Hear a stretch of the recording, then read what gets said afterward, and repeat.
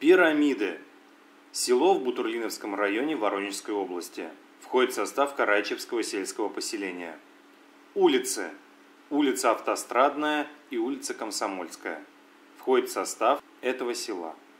На автотрассе Бутурлиновка-Нижний Кисляй стоит небольшой поселок со странным названием Пирамиды. Две шеренги домов, словно на параде, выстроились вдоль дороги, которая делит поселок пополам. Как ни крути головой по сторонам, никаких пирамид тут заметить не удается.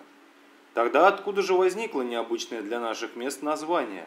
Тем более от египетских пирамид мы находимся очень далеко. На этот счет существуют две легенды, бытующие в народе, и обе связаны с делами ратными. Давно это было, когда в наших местах не было постоянного населения, а лишь маячили на диком поле сторожевые посты, свыше которых стражники предупреждали об опасности, да юрты охотников-промысловиков прятались в укромных потаенных местах. Крымские татары, ведущие агрессивный образ жизни, часто делали набеги на русские земли.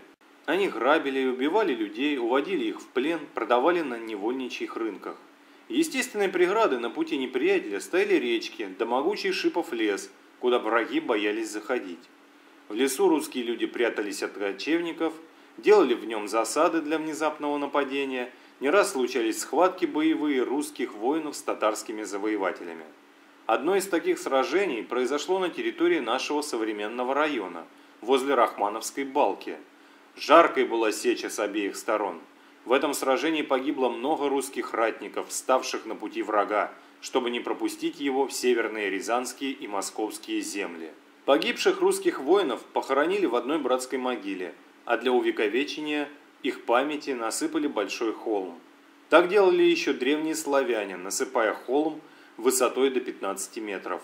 Подобным образом поступили и на этот раз с погибшими от татарских рук – Высокий холм был похож на пирамиду. Были холмы и поменьше. Этот холм с оплывшими краями и теперь еще можно увидеть недалеко от поселка Пирамиды. Существует еще одна легенда о пирамидах. Будто бы в старину шли русские войска в дальний ратный поход. Остановились они на отдых в том самом месте, где находится сейчас поселок. А тогда из края в край колыхалась широкая безлюдная степь. Рядом протекал ручей, с чистой холодной водой, который существует и теперь. Он наполняет своей живительной влагой пруд за околицей поселения. На этой безлюдной местности у родника солдаты поставили свои ружья в пирамиды. Их было очень много, такое бывает нечасто. Вот и отложились в памяти людской эти пирамиды. Поселок много лет входил в состав Карайчевского сельского совета. Входит и сейчас – Многие поселки этой территории, объявленные когда-то неперспективными, прекратили свое существование. Две селы, новая деревня, Верхние Озерки, Репный, Благовещенский, Малая Рахмановка, на очереди Троицкий, Алексеевский, Большая Рахмановка, а пирамиды, как и древние египетские пирамиды, живут, во многом благодаря автотрассе, проходящей через поселок. Отсюда можно без труда добраться и до районного, и до областного центра. Значит, дорога – это жизнь для пирамид. Население в 2020 году составляет около 80 человек.